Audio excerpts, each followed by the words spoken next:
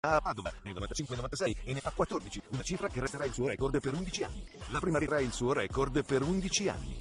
La prima rete segnata nella giornata inaugurale al Milan non basta ad evitare la sconfitta. Like a